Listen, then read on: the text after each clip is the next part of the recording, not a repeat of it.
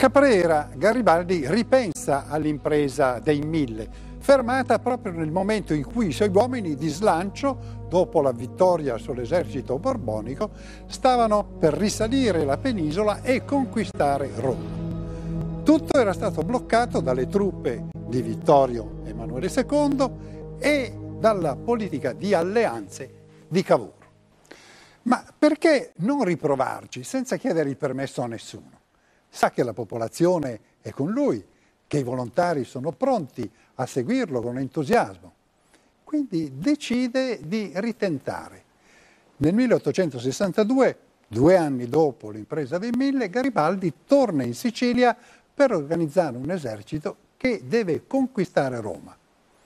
Ma questa volta il governo italiano usa le maniere forti per fermarlo manda dei soldati a sbarrargli la strada, non solo, ma a sparargli addosso.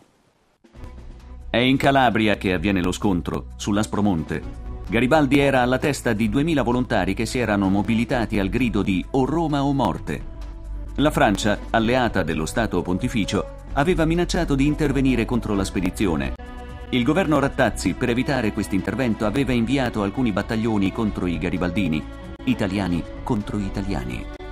Garibaldi, convinto che l'esercito regolare non avrebbe mai potuto sparargli addosso, si mette alla testa dei suoi uomini, ma viene ferito al piede e alla coscia. È il 29 agosto 1862. Ordina quasi subito il cessate il fuoco. Viene trasportato al forte di Varignano e di lì a Caprera. Il fatto crea grande scalpore e il governo Rattazzi è costretto a dimettersi. La convalescenza di Garibaldi è molto lunga, la ferita non riesce a guarire.